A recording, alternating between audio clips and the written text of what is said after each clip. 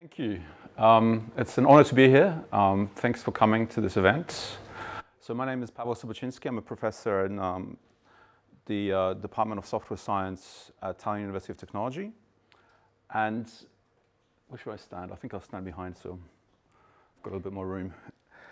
Uh, so this, this seminar's title is European Leadership in, in, in this area. And I really wanted to start by sort of taking a, a, global view of the kind of research that's right now going into AI around the world. As we all know, it is a very hot topic. There's a lot of investment. There's a lot of research going on. Um, so as was already mentioned, um, private investment in AI capability is now in hundreds of billions of dollars in the US alone. Um, State-of-the-art systems right now, system systems, are really massive. So they have billions to trillions parameters. These are these neural networks that are being built at the moment.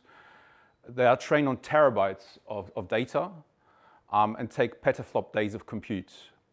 Um, so just the training costs um, for the latest models are sort of, you know, over $10 million just in the power consumed for the training.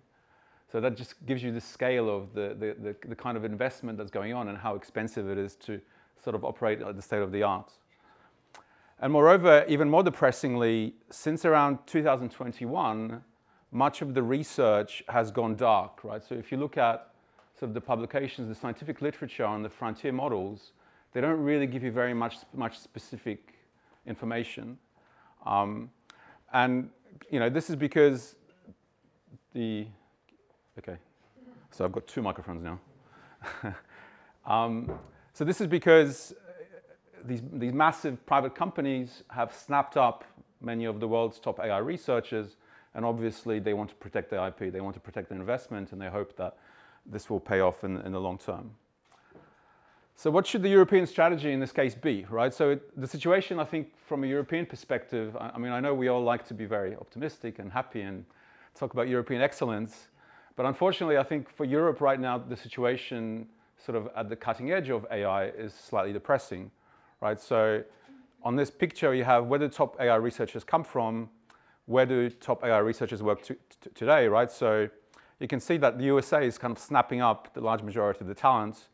Um, and even though Europe produces top AI researchers, they tend to leave Europe, right? So we have a brain drain of the top quality experts um, in the, uh, in the field. And moreover, as I was mentioning on the next, on the previous slides, just the, the sheer costs involved in building this, these frontier AI systems are beyond the pockets of any university.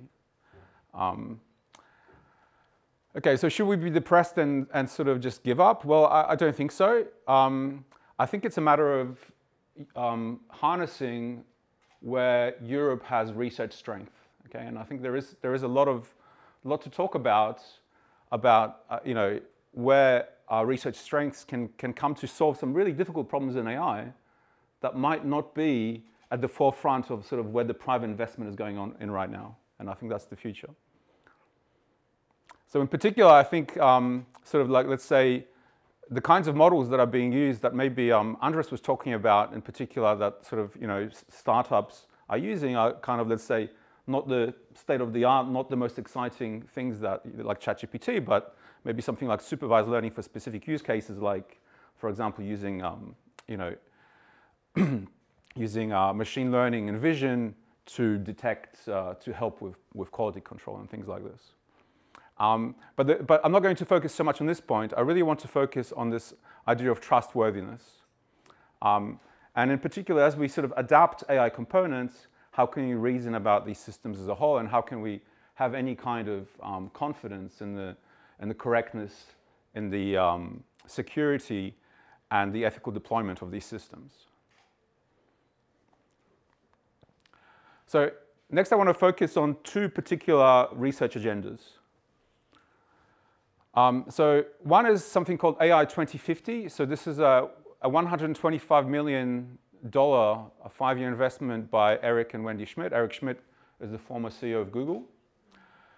So it's an, it's an interesting kind of a research program um, that have, has identified 10 hard problems that the idea is that these things should be solved by the year 2050. Now, I don't want to go into too much detail for all of these because we, we have a limited amount of time, but let me just focus on the first four, which I think are, are particularly important to the, to the context of today's meeting. So the first one is the scientific and technological limitations to enable further progress in powerful transformational AI. And I think this is the, the really, you know, this is the understanding, you know, the latest engineering tricks that allow you, you know, allow you to, to just throw money at, at the training and, and, you know, buy up data so that you have the, the next level transformation in AI. This is where I think the large majority of the, these hundreds of billion dollars of investment are going to, right? They're paying for compute, they're paying for, you know, snapping up top talent around the world and building the, these, uh, these frontier models.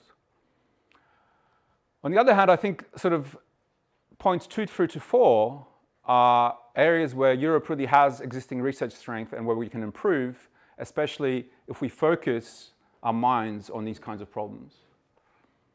Um, and these are safety and security, robustness, performance, and output challenges that may cause harm or trust of AI.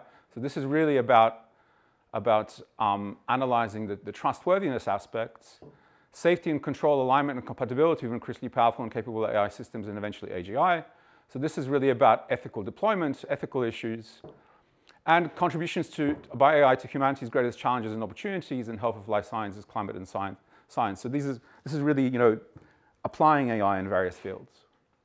Um, so I think this is, where, this is something where, where we have strength. This is something where I think XSTI um, is focusing on, and in particular, this consortium of, of four universities, of TalTech, Tartu, Radboud, and Technical University of Munich, I think we bring together, together we have the, the really exciting combination of scientific talent to, to make progress on these, on these difficult, uh, difficult problems. I want to just talk about one more research program that's, that's just starting in the UK. So in the UK, there is a brand new research agency called ARIA, and it's, uh, it's modeled on, on DARPA, right? So the idea is to fund high risk, but potentially high reward projects. Um, and there's a brand new project starting pretty much right now. Um, I, I, went to uh, the initial workshop that was um, at the end of last year um, which was kind of a pre, pre-rollout um, collecting ideas. And, and, the idea is, it's, it's called Safeguarded AI, con constructing safety by design. So this is some kind of a, you know, proto-science of safety engineering for artificial intelligence. Um, so the UK government is investing 30 million pounds on this. Um, and, and the idea is, is that you really want to develop rigorous engineering safety me uh, measures as expected for critical infrastructure um, and leverage frontier AI to help us to do this, right? So sort of combine these kinds of European research strengths with some of these frontier models to, to um, ensure that AI systems only operate with, within agreed upon safety guardrails and specifications for a given application. so the vision is that at the end of the program, we aim to show a compelling proof of concept demonstration in at least one narrow domain where AI decision support tools or autonomous control systems can improve on both performance and robustness versus existing operations in the context where the, next uh, the net present value attainable by full deployment is estimated to be billions of pounds. Some examples of potential such early demonstration areas include balancing electricity grid, supply chain management, clinical trial optimization, 5, g beam, beamforming sub-channel allocation for mobile te tele telecommunication networks. Right, so this is a, a, very kind of ambitious, ambitious program, which I think is, is, is related. It's, it's also kind of harnessing the, the research strength that the UK has, but I think Europe has a very similar research strength. So I think this, these are the kinds of areas that, that we should be investing in. So safe and trustworthy, just a few words about safe and trustworthiness. Um, I don't really want to go too much into depth here. I think we all know why it's important to be safe and trustworthy. Um, as we know, AI is already being used in high stakes applications like educational attainment, access to credit, and so forth. Um, and in, a, in the future, this will only become uh, sort of more critical, more safety critical, and therefore it's important for us to, to be able to, to be able to ensure that these, these, um, these systems are safe and are trusted by the population. Um, and this is especially in the Estonian context, right? So we, we saw, you know, Estonia prides itself on, on being um, very proactive in adapting technology, in the, especially in the public sector, but also, as, as we know, um, in the startup space, etc. So it's a very sort of um, you know tech savvy nation. Um, but you know we don't want to. We want to make sure that this happens in a responsible way, right? So this is a, Estonia is a good place for, for this kind of for this kind of research. So trustworthiness, uh, we've we've I mean we've we've heard a lot of these words like trustworthiness, correctness, security, ethical deployment. Well, I think trustworthiness for me is really is really a, an intersection of these three things. So correctness is really about um, making sure about, you know, being able to measure accuracy, being able to measure robustness, being able to measure risk, um, and verify performance, offer guarantees about performance, okay? Security is all about sort of cybersecurity and the new challenges um, that AI poses for cybersecurity. And responsible deployment is about the ethical dimension, right? So since human beings, human beings are involved, human beings are affected, AI poses brand new challenges, you know, things like new ways of, um, of uh, challenging our notions of fairness, of discrimination. So I think those three things together um, are crucial for this concept of trustworthiness, right? This what it means to trust to be trustworthy for these systems now and in the future is that we ensure that all three of these um, concerns are, are met. So I want to now get a little bit more technical. Um, approximately, uh, where's, where did I go? Where's my moderator? How much, how much time do I have?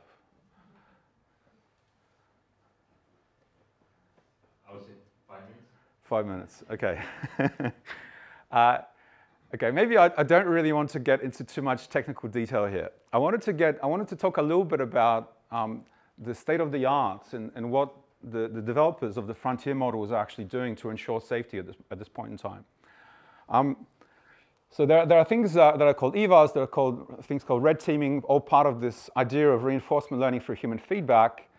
Um, so this is the way, you know, when sort of Google and, and OpenAI and, and, and Meta and Apple, whenever they come and, you know, shake the hand of the, of the local politician, um, they say, you know, we are very serious about safety, right? But any serious scientist will look at these techniques and be very skeptical, right? So there are, there are, there are reasons to be skeptical. Um, these kinds of things are not scalable. Um, if they don't, you know, if they don't uncover any problems, we can't really have very much confidence in, in, in, safety, right? There are many contexts in which these applications, these models can be used. Um, and, and moreover, the, because somehow the same hammer is, is always used to fix the problem, right? It's how do I make sure that neural networks are safe? Well, I'll build another neural network that's going to make, make sure it's safe. Um, there, there are kinds of underlying problems with the model, um, things called specification gaming, reward hacking, which means that somehow these, these things are, are quite, quite flawed. Um, so I have a quote by one of the world's most famous AI scientists, uh, Yoshua Bengio. He's a winner of the um, ACM Turing Award, which is like the Nobel Prize for computer science. Um, so he, had a, he has a very nice blog. I encourage you to, to read his blog. Um, and in a post last year, he wrote, unlike methods to build bridges, drugs, or nuclear plants, current approaches to train frontier AI systems the most capable AI systems currently in existence do not allow us to obtain quantitative safety guarantees of any kind. Okay, so we, have really no confidence about this. Um, so I think this is where we can come in. I think this is where there is a, a fundamental challenge, um, and I think we, this is something where we can make a contribution. And in particular, um, I want to focus on, okay, I don't have really have very much time, but let, let me just tell you what the, kind of core scientific challenge for me is thinking about correctness. Okay, and, and this is really about um, the fact that AI is all about probability, right? So the way the underlying technology works is very probabilistic. Um, but much of the work in computer science up to this point, you know, computer science is a fairly young discipline. I mean, it was born some, somewhere maybe around the 30s or 40s of the last century. But it's really been heavily influenced by 20th century mathematical logic. So it's all about zero, one, true or false, yes or no. Um, but AI is probabilistic, and human beings, at least at the moment, do not do very well with probabilistic reasoning. There are many paradoxes, counterintuitive observations just yesterday, uh, my colleague Bart Jacobs was telling me that he came up with a, with a riddle that, that puzzles even sort of the experts in the area, right? So, so there's, there's still things that we're unsure of at the very fundamental, no there's fundamental notions of probabilistic reasoning that are, that are quite challenging. Um, so probabilistic programming and probabilistic verification are currently hot topics, and this is really where Europe are leaders, right? So we have absolutely top European um, research in probabilistic programming, program, pro probabilistic verification. Um, and, and, uh, and this is one, one area where I think research at XTI can really make a significant contribution. Um, so I'm out of time, so I'm just going to say that there is ex extremely exciting work going on in, in Nijmegen, which um, we've also contributed to at, at Taltech. And at, at, Munich, there is a very important um, center for verifying existing neural networks at a lower level. So I think combining these kinds of research strands, combining these experts, um, is, is, a very exciting um, proposition from a scientific point of view. And I didn't mention here also at Tartu we have, we have Meelis, who's uh, an expert in reasoning about un uncertainty in AI. Um, he's going to be on the panel later. So I think the combination of these four universities is, is a very exciting proposition. I'm out of time, so I'm sorry, we're going to have to push the security and the ethical aspects to, to, to the discussions further. Um, but as I said, for me, this idea of trustworthiness is really a combination of these three. So let me just tell you a little bit about, this is my final slide. Um, let me tell you about uh, XDAI. I'm not going to go into why Estonia, you've already heard this from Andres. Um, we have currently starting an exciting local thing called XI, Estonian Center of Excellence in AI.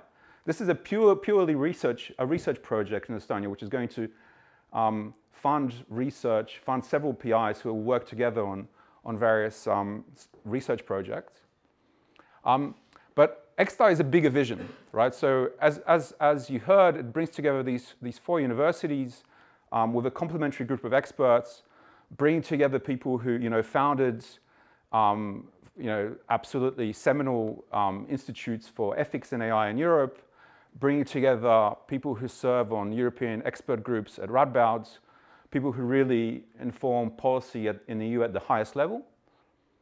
Um, and our vision is really to enable this interdisciplinary research to make AI safety engineering a reality, focusing on these three scientific areas. And I think for me personally, sort of the shining jewel in this, apart from the research, will be a top-level PhD school, right? So I think in Europe we have a problem that, um, as I said, there, there is this kind of a problem of brain drain in Europe um, in general, but I think focusing on these aspects in which we are strong in Europe and which we will have a high level of need for these skills in the future, I think we need to train the next generation of experts, right? And, and hosting this in Estonia and, and attracting, you know, the, the, the most talented students, and for these students to then have access to these top-level experts from these four universities, I think this will be both an exciting proposition for students, but also something very, very important for Estonia in particular, and more, general, more generally for Europe. Thank you. That's all I wanted to say.